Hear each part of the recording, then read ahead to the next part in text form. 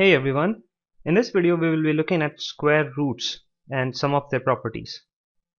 A square root is denoted by this symbol right there. Let's say we want to calculate the square root of a number denoted by x and the square root of this number x yields us another number y. So by definition a square root of a number in this case y is a number when multiplied by itself gives us the original number of which you calculated the square root of. So square root of x is y.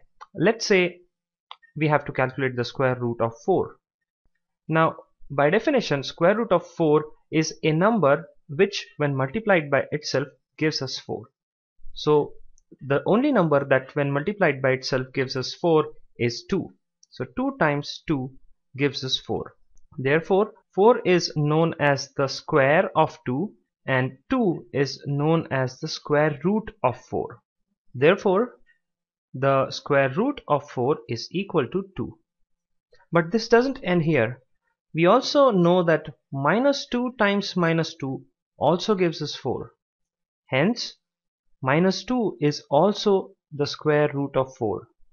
So we can write here 2 comma minus 2. Therefore, the square roots of 4 are 2 and minus 2. With this, let us look at the various properties of square roots. So the first property is, if you have a number x, you square it and take the square root of the square of x, you get the mod of x. Which means that if you take any number, you square it and take the under root of it, you will get the positive value of that number. Let us for example take the under root of minus 2's square. So we have minus 2, we have squared it and took the under root of it. Then we will get, if we take the square of minus 2, we get 4 under root 4 which is equal to 2. Square root of 4 is 2. In this case is called the principal square root of 4. The principal square root of any number is the positive square root of that number, not the negative one. And we usually take the principal square root in all cases. Let us look at the second property of square roots, rather a property of squares. It says that the square of a number can never be negative. To prove this, let us multiply two negative numbers. So minus 3 times minus 3, if we multiply it, we get 9. Minus times minus is plus and 3 times 3 is 9. So the square of any number can never be negative. Let us look at the third property. The square root of a negative number is imaginary. That means if you take the square root of a negative number, for example negative 4, the answer is imaginary. That is, it is not a real number.